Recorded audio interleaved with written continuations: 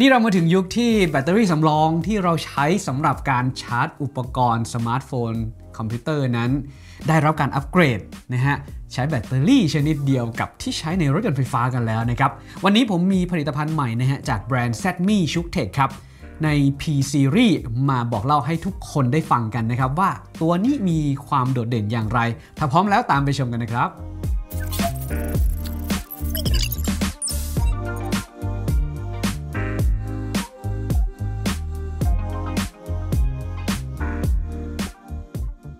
สวัสดีครับคุณผู้ชม ผมต้อมไอมดนะครับ กลับมาพบกันในรอบนี้มารีวิวอุปกรณ์ดีๆนะครับ เกี่ยวกับทางฝั่งของสมาร์ทโฟน แล็ปท็อป ให้ทุกคนได้ชมกันบ้างครับ แบรนด์ z m i s h u k t e c h นะครับ ก่อนหน้านี้ผมเคยรีวิวอุปกรณ์เอาไว้ละ แล้วก็ได้บอกเรื่องของที่มาที่ไปของแบรนด์นี้ว่าเป็นอย่างไร มีความน่าเชื่อถืออย่างไรนะครับ ถ้าใครยังไม่ได้ชมคลิปนั้นครับ ยังไงก็ตามไปดูเดี๋ยวผมจะแนบคลิปที่ผมรีวิวเอาไว้ให้นะครับ ซึ่งมาในรอบนี้ครับถือว่าเป็นการ อัปเกรดที่ค่อนข้างตื่นตาอีกอย่างหนึ่งนะ ต้องบอกงี้ว่าเดิมทีเนี่ยเรื่องของ power bank หรือว่าแบตสำรองนะครับ เราก็จะเห็นคุ้นหน้าคุ้นตากันสไตล์ประมาณนี้แบนๆบ้างนะฮะ มันมีวิวัฒนาการมานะ ผมเล่าให้ฟังยุคแรกๆนะฮะแบนๆบางๆมานะฮะน้ำหนักเบามีพอร์ต USB A เพียงพอร์ตเดียว อ่า นั่นในช่วงที่เราใช้งานกัน หลังจากนั้นครับ เริ่มมีพอร์ต USB A มาสัก 2 พอร์ตและชาร์จได้หลายอุปกรณ์มากยิ่งขึ้น ยุคต่อมามีพอร์ต Type C ขึ้นมาครับ ที่รองรับเทคโนโลยี Power Delivery และต่อมานะครับมีแม้กระทั่งเรื่องของ power bank ตัวนี้เองเนี่ยสามารถชาร์จไร้สายได้ด้วยนะครับหลาย ๆ รุ่นที่เราคุ้นเคยกันนะครับแบตเตอรี่ภายในของเขาจะใช้ลิเธียมโพลิเมอร์ซึ่งจะเป็นแบบเดียวกับที่ใช้อยู่ในสมาร์ทโฟนทั่วไป พวก iPhone พวกทางฝั่งของ Android อะไรต่าง ๆ แบตเตอรี่ภายในของเขาจะเป็นรูปแบบแบน ๆ นะครับใช้เป็นลิเธียมโพลิเมอร์น้ำหนักของเขาจะเบาครับ แล้วก็เก็บไฟได้เยอะนะครับเราจึงเห็นรูปแบบของแบตเตอรี่สำรองครับ เป็นสไตล์ประมาณแบบนี้ แล้วถามว่า P Series ของ z m i s h u k t e c h ที่เรามารีวิวให้ทุกคนได้ชมกันในวันนี้ทำไมหน้าตามันถึงแปลกไป และทำไมถึงต้องดีไซน์ออกมาเป็นแบบนี้ และจุดเด่นของเขาคืออย่างไรนะครับ แต่ก่อนอื่นเดี๋ยวเรามาดูดีไซน์กันก่อนนะฮะ ความจุของเขานะครับจะเริ่มต้นตั้งแต่ 10,000มิลลิแอมครับ ตัวนี้ครับ 20,000 มิลลิแอมครับ 25,000 มิลลิแอมและสูงสุดที่ 40,000 มิลลิแอมนะฮะ ดีไซน์ดูสิ เราจะเห็นว่ามันมีความพิเศษนะ แตกต่าง อันนี้ 10,000 มิลลิแอมนะ เทียบกับตัวนี้ของ z m i เหมือนกันนะ ในรุ่นก่อนหน้านั้นที่เราเคยรีวิวนานมากละ เห็นไหม แตกต่างกันนะนี่ฮะ แบนๆ ไม่ได้สูงมากแต่เนี่ยทำไมสูงนะครับ ทั้งๆทที่ตัวนี้ก็มีตั้ง 3-4 พอร์ต แต่เนี่ยมี 2 พอร์ต ส่วนในรุ่น 20,000 มิลลิแอมนะครับก็จะมี 3 พอร์ต มี USB Type A 1 พอร์ต แล้วก็ USB C อีก 2 พอร์ตนะครับ25,000 ก็เช่นเดียวกันครับ มี USB Type A 1 แล้วก็ USB C อีก 2 ส่วนตัวนี้ท็อปสุดนะครับรุ่น 40,000 มิลลิแอมเนี่ยจะมีมากกว่าหน่อยนะครับ มี USB Type A 2 พอร์ต USB C อีก 2 พอร์ต และนอกจากนี้เขายังมีด้านบนตรงนี้ด้วยนะครับ ที่จะรองรับการชาร์จผ่าน wireless ไร้สายที่เป็น QI Standard จ่ายไฟแบบไร้สายได้ด้วย และที่สำคัญครับ ในรุ่นนี้เองนะฮะ 40,000มิลลิแอมตัวเนี้ยข้างหลังของเขาจะมีพัดลมระบายอากาศด้วยนะครับ ซึ่งตัวนี้จะทำงานอัตโนมัติ ถ้าหากว่าเราชาร์จไฟเข้าไป หรือว่าปล่อยไฟออกมาถ้า ระบบมันร้อนมากเกินไปเขาจะมีการระบายความร้อนออกมาด้วยนะครับนี่คือความโดดเด่นที่บอกว่าเอ้ยทำไมแบตเตอรี่สำรองสมสมัยนี้มันมีขนาดนี้เลยเหรออะเห็นดีไซน์ของแต่ละรุ่นใน P Series กันไปแล้ว เดี๋ยวเราไปลงสเปคภายในว่า แต่ละรุ่นนั้นโดดเด่นอย่างไรบ้างครับ มาเริ่มต้นกันที่ตัวแรกนะครับ กับ z m i s h u k t e c h PB 100P ครับ ตัวนี้เล็กสุดในรุ่นนะ เพราะว่ามาพร้อมความจุ 10,000มิลลิแอม จ่ายไฟสูงสุดครับ รวมกัน 2 พอร์ตอยู่ที่ 150 วัตต์ครับ แต่ถ้าหากแยกเป็น 2 พอร์ตนะ พอร์ต Type C จะปล่อย 120 วัตต์ พอร์ต Type A นะครับ จะปล่อยที่ 33 วัตต์ครับกำลังการชาร์จไฟเข้านะครับ สูงถึง 90 วัตต์นะฮะ สามารถชาร์จ0ถึง55%ในระยะเวลาเพียง 15 นาทีเท่านั้น เห็นไหมฮะว่าเร็วมากๆมีหน้าจอ TFT นะครับ แสดงพวกปริมาณแบตเตอรี่ กำลังไฟเข้ากำลังไฟออก มีแรงดัน มีแอม มีค่าวัตต์นะครับ ถือว่าครบครบรองรับเทคโนโลยีการชาร์จเร็วครับ Power Delivery 3.0 PPS Quick Charge และตัวนี้เองนะครับ ยังมาพร้อมสายชาร์จ USB Type C to Type C ครับ ขนาด 6 แอมป์ 240 วัตต์นะครับ ความยาว 50 เซน และตัวนี้นะครับ รองรับการชาร์จแบบ low current charging ให้กับอุปกรณ์ขนาดเล็กด้วยนะ อย่างเช่น พวกหูฟังไร้สาย แล้วก็นาฬิกา smart watch นะฮะในรุ่นต่อไปครับรุ่นที่ 2 คือ Xiaomi c h u k t e c PB 200P ครับ ตัวนี้ใหญ่ขึ้นมาหน่อย เพราะว่ามาพร้อมความจุ 20,000มิลลิแอมครับ จ่ายไฟสูงสุดได้ 150 วัตต์ครับ ชาร์จไฟสูงสุดได้พร้อมกัน 3 อุปกรณ์ฮะ แล้วก็พอร์ต Type C นะครับ จ่ายไฟได้ที่ 120 วัตต์ครับ แล้ว USB-C อีก1พอร์ตได้ที่ 33 วัตต์ ส่วน USB-A ได้สูงสุดที่ 33 วัตต์นะครับ รองรับการชาร์จเข้านะครับ เร็วสุดที่ 90 วัตต์เช่นเดียวกันครับ ใช้ระยะเวลาการชาร์จนะครับ 30 นาที ก็ได้แบตเตอรี่ถึง 50%ตรงนี้นะครับมาพร้อมแบตเตอรี่ลิเธียมไอออนขนาด 21,700 มิลลิแอมครับ และเขาผ่านการทดสอบการชาร์จซ้ำที่มากกว่า 1,000 ครั้งเลยทีเดียวนะครับ แน่นอนครับเทคโนโลยีมาพร้อมการรองรับ Power Delivery 3.0 Quick Charge 3.0 AFC PPS หน้าจอแสดงผลแบบ Real Time ครับเป็นหน้าจอ LED นะครับ มีสายชาร์จมาให้ด้วยเช่นเดียวกันครับ Type C to Type C ขนาด 6 แอมป์นะครับ 240 วัตต์ ความยาว 1 เมตร ต่อมาครับรุ่นที่ 3 ความจุเพิ่มขึ้นครับ เป็น 25,000 มิลลิแอมกับ Xiaomi c h u k t e c P23 รุ่นนี้นะครับสามารถจ่ายกำลังไฟรวมกันสูงสุดถึง 210 วัตต์ครับ พอร์ต USB-C 1 นะครับ จ่ายไฟสูงสุด 140 วัตต์ USB-C 2 ครับ สูงสุด 60 วัตต์ และ USB-A สูงสุดที่ 30 วัตต์นะครับ ชาร์จได้ 3 อุปกรณ์พร้อมๆกัน Power Delivery 3.1 ครับ สามารถจ่ายไฟให้ MacBook Pro ได้เต็มกำลังสูงสุดเลยนะครับ อยู่ที่ 140 วัตต์ ดังนั้นเนี่ยถ้าหากว่าใครตั้งใจที่จะเอาไปใช้กับ MacBook ด้วย ผมก็แนะนำตัวนี้นะ เพราะว่าความจุมันสูงด้วย แล้วก็สามารถจ่ายกำลังไฟได้เต็มด้วยนะครับนอกจากการปล่อยไฟที่แรงแล้วนะครับผม ยังสามารถชาร์จไฟเข้ากลับมานะฮะด้วยกำลังไฟสูงถึง 110 วัตต์เลยนะครับ เพียง 19 นาทีเราสามารถได้แบตเตอรี่กลับคืนมาถึง 40%นะฮะแบตเตอรี่ตรงนี้เนี่ย 25,000 มิลลิแอมสามารถชาร์จอะไรได้บ้างอะผมสรุปให้คร่าวๆครับ อย่างเช่น MacBook Air 2022 นะครับ ชาร์จ 100%ได้ 1.2 รอบ ชาร์จ iPhone ได้ถึง 4 รอบ ชาร์จ iPad ได้ถึง 2.2 รอบ แน่นอนครับ เทคโนโลยีต่างๆ ก็คล้ายคลึงกับรุ่นก่อนหน้า แล้วมาดูตัวท็อปสุดครับ ในรุ่นความจุ 40,000 มิลลิแอมกับ Xiaomi c h u k t e c P01 นะครับตรงนี้ต้องบอกว่าดีไซน์นั้นแตกต่างจากเพื่อนเลยนะครับ ข้อดีของรุ่นนี้นะฮะ ทุกพอร์ตนะครับ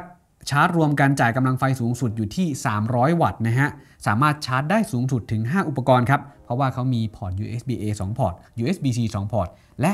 ชาร์จไร้สายได้อีก 1 จุดนะครับ พอร์ต USB-A 1ครับ จ่ายไฟ 22.5 วัตต์ ตัว USB-C 1ครับ จ่ายไฟสูงสุด 100 วัตต์ USB-C 2 จ่ายไฟสูงสุด 140 วัตต์ และ USB A 2นะครับ จ่ายไฟสูงสุด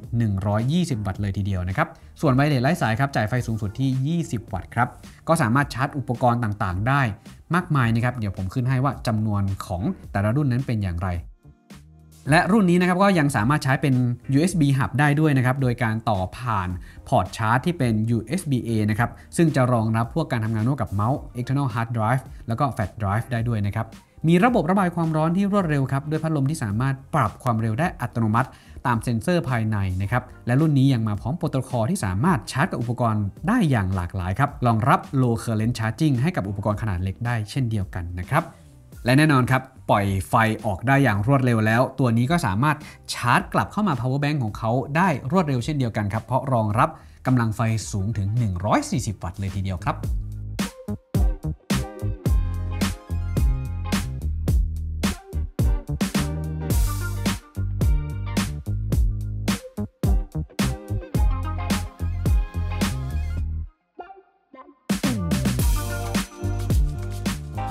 เห็นสเปคกันไปแล้วนะครับ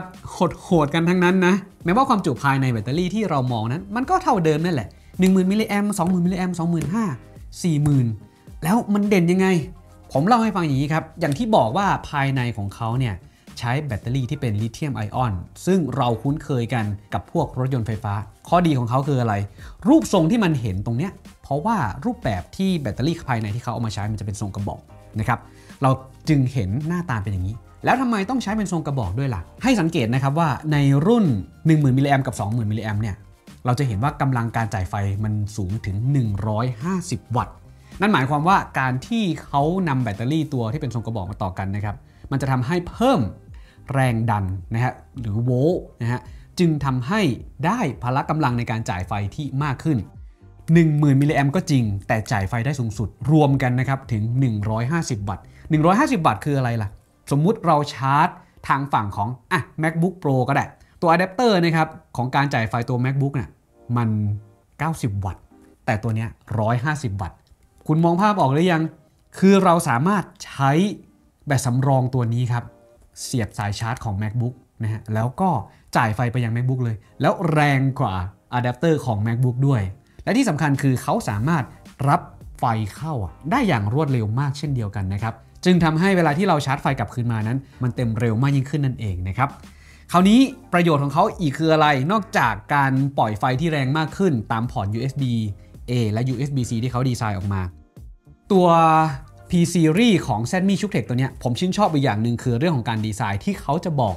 สถานะของแบตเตอรี่ที่มันเหลืออยู่ด้วย ปกติเราเห็นพวก power bank หรือแบตสำรองอื่นๆ จะมีไฟ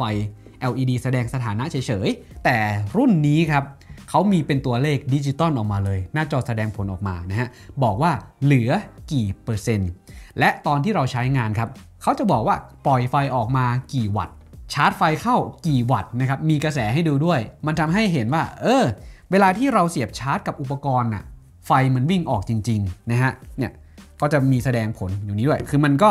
ดีไซน์จะแตกต่างกันออกไปในแต่ละรุ่นนะ อย่างตัวรุ่น 20,000มิลลิแอม ก็อาจจะแสดงผลไม่ได้เยอะมากเท่าตัว 10,000มิลลิแอมแต่ 25,000เนี่ยก็จัดเต็มเหมือนกันนะครับเนี่ยฮะเพราะว่าบอกแบตเตอรี่เหลือ 95%เข้าเท่าไหร่ออกเท่าไหร่แยกเป็นพอร์ตเลยนะเออมันทำให้เราเวลาที่เราใช้งานเนี่ยเสียบกับอุปกรณ์เรารู้เลยว่าเออมันไฟออกจริง ๆ สมาร์ทโฟนของเรารับได้ 30 วัตต์ใช่ไหมเออมันก็วิ่งเต็ม 30 วัตต์คอมของเรารับได้ 30 วัตต์ 60 วัตต์ 90 วัตต์หรือร้อยกว่าวัตต์มันก็จะได้เห็นภาพที่มันเคลื่อนไหวออกมา เราก็รู้ว่าเออนี่แหละ คือเขาดีไซน์ออกมาแล้วมันสามารถใช้งานได้จริงนะครับและยิ่งตัวทางฝั่งของรุ่น 40,000มิลลิแอมตัวเนี้ยเออมันเป็นดีไซน์ที่เหมือนอุปกรณ์ที่อ่ายังไงอะ่ะเหมือนลำโพงพกพาไร้สายอะไรประมาณเนี้ยแต่ไม่ใช่ลำโพงนะเออด้านหน้ามันมีจอแสดงผลด้วย เวลาที่ผมวางโทรศัพท์มือถือเอาไว้อย่างเงี้ยเออเวลาชาร์จไร้สายนะครับเขาก็จะแสดงแบตเตอรี่ที่มันเหลือว่าเท่าไหร่เออเราก็ได้รู้ว่ามือถือของเรามันชาร์จนะและ ที่สำคัญผมชอบมาก ๆ เวลาที่เราชาร์จแบตเตอรี่เข้ามาครับ ผมเสียบกับอะแดปเตอร์ของทางฝั่ง MacBook หุยกำลังไฟที่มันวิ่งเข้ามานะมันแรงมากอะ่ะ คือเราไม่คิดว่าแบตเตอรี่สำรองที่เอามาใช้กับสมาร์ทโฟน มันจะต้องแรงขนาดนี้เลยเหรอ ผมก็มานั่งนึกว่าที่เขาดีไซน์มาตรงนี้ก็เพื่อว่า แบตเตอรี่ลิเธียมไอออน มันจะดีตรงที่การเก็บประจุไฟได้สูง แล้วปล่อยพลังงานออกได้สูงนะครับ คือเข้าก็เร็วครับ เนี่ยชาร์จเข้าทำให้ แบตเตอรี่เต็มไวแล้วก็ปล่อยพลังงานออกได้ค่อนข้างรวดเร็ว ด้วยความที่ณปัจจุบันน่ะเราใช้งานมือถือสมาร์ทโฟน พวกโดยเฉพาะทางฝั่ง Android นะครับก็รองรับการชาร์จเร็วที่มากยิ่งขึ้นเผลอๆไม่ต้องพกอะแดปเตอร์ละใช้ตัวนี้แบบเสียบแป๊บเดียวนะครับ มันจึงทำให้ตัวสมาร์ทโฟน ตัวแท็บเล็ตหรือว่าคอมพิวเตอร์ของเรานั้น มันทำงานได้รวดเร็วมากขึ้น ปล่อยเร็ว ชาร์จเข้าก็เร็ว แล้วก็สามารถใช้งานได้อย่างรวดเร็วมากยิ่งขึ้นนะครับ นี่คือประสบการณ์นะครับที่ผมได้ลองใช้งาน Zetmi c h u k t e c h P Series ตัวนี้นะครับ แล้วก็มาบอกเล่าให้ทุกคนได้ฟังนะตอนแรกก็ยังสงสัยอยู่เฮ้ยทำไมต้องดีไซน์มาเป็นแบบนี้ทำไมไม่แบนๆทำไมไม่เบานะครับ คือถ้าเทียบกับรุ่นก่อนหน้าของ Zetmi c h u k t e c h ถ้าความจุ 25,000 มิลลิแอมเหมือนกันนะ ตัว P Series รุ่นใหม่ จะหนักกว่าเล็กน้อย แต่ฟังก์ชันมันเยอะกว่า เวลาการจ่ายออกมาได้ดีกว่านะครับแรงกว่าแล้วก็เร็วกว่า อันเนี้ยที่ผมชื่นชอบ และโดยเฉพาะตัวเนี้ยถ้าสมมติว่าใครอยากจะ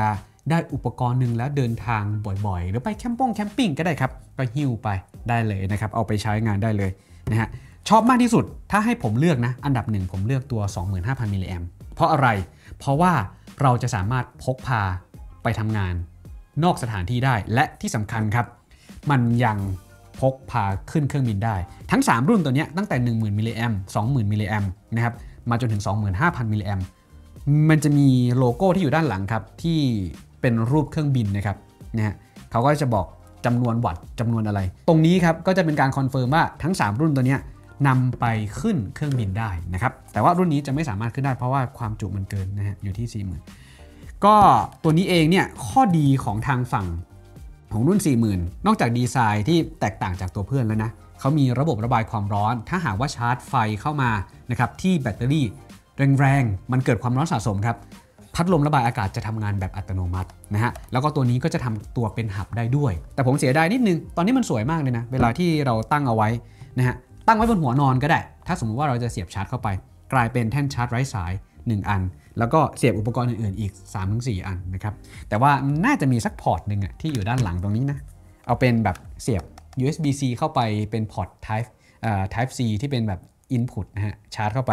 มันจะได้สวยมากขึ้นกว่านี้ เพราะเวลาที่เราชาร์จเข้ามาเสียบไว้ด้านหลัง ด้านหน้าตรงนี้เราก็จะแบบคลีนคลีนเอาไว้นะครับแต่โดยรวมโออผมว่าเป็นอะไรที่ค่อนข้างน่าสนใจนะ เพราะว่าเน้นเรื่องของการชาร์จเร็วเป็นหลัก ชาร์จเข้าเร็วปล่อยออกเร็วนะครับแล้วก็น้ำหนักอาจจะมีเพิ่มเติมขึ้นมานิดนึง แต่เราจะได้ประสิทธิภาพที่คุ้มค่า ไม่ต้องรอนานในการชาร์จประจุไฟเข้ามาที่แบตเตอรี่สำรอง มีเวลาแค่ชั่วโมงหนึ่งหรือน้อยกว่านั้นครับ มันก็ทำให้ได้จำนวนไฟในแบตเตอรี่สำรองนั้น เพิ่มเติมขึ้นมาเยอะขึ้นนะครับ และนี่นะครับก็เป็นประสบการณ์ที่ผมได้ลองเล่นครับแบตเตอรี่สำรองจาก z ซ m i ชุกเทคนะครับถือว่าเป็นของใหม่ เป็นการนำเทคโนโลยีใหม่เข้ามานะครับเพิ่มประสิทธิภาพให้กับแบตสำรองให้มันน่าใช้งานมากยิ่งขึ้นนะครับสำหรับราคาในรุ่นต่างๆนะก็เดี๋ยวผมขึ้นเอาไว้ให้ว่าแต่ละตัวนั้นเท่าไหร่ สามารถสั่งซื้อได้ตามช่องทางของ แซดมีชุกเทคได้นะครับ เดี๋ยวผมแนบลิงก์เอาไว้ให้ที่ใต้คลิปนี้นะครับ ส่วนใครที่มีคำถามสงสัยเพิ่มเติมนะครับ สามารถทิ้งคอมเมนต์ไว้ที่ใต้คลิปนี้นะครับ เดี๋ยวผมมาตอบคำถามเหล่านั้นให้ครับสำหรับในคลิปนี้คงฝากไว้เพียงเท่านี้นะครับ ไว้เดี๋ยวเราพบกันในรอบหน้านะฮะ ผมต้อมไอมดขอตัวลาไปก่อน ขอบคุณและสวัสดีครับ